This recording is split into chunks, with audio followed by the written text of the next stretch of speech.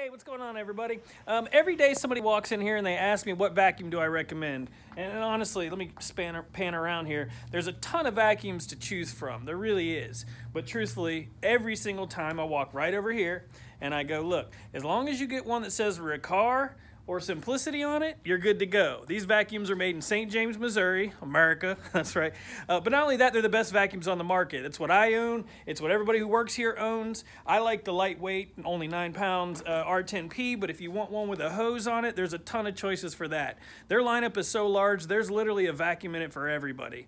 Um, St. James, Missouri, again, so that's one reason. Two, they're the best vacuum on the market, like by far. They'll last the longest, they work the best, they clean the best, they, um, they're the easiest to use, and, and, kind of the list goes on. So the point is, come to Sewing and Vacuum Authority or go to vacauthority.com, get you an American-made Simplicity or Riccar today, and uh, stop vacuum shopping. It sucks. All right, bad joke, but you know what I mean. Come and see us, guys. Bye.